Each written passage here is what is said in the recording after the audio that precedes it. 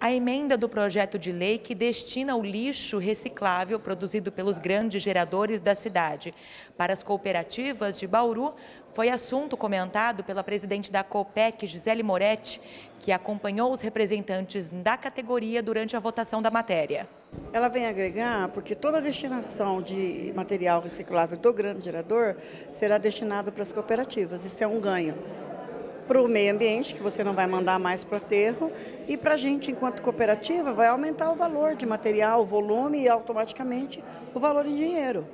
Então é muito interessante, independente de quem faça a coleta, se é Endurbe, se é um particular, ou até mesmo a gente que fizer um plano de resíduo para o grande gerador. O grande gerador só terá a obrigação de destinar. E essa, essa coleta será destinada, vai ser repartida em partes iguais entre as três cooperativas.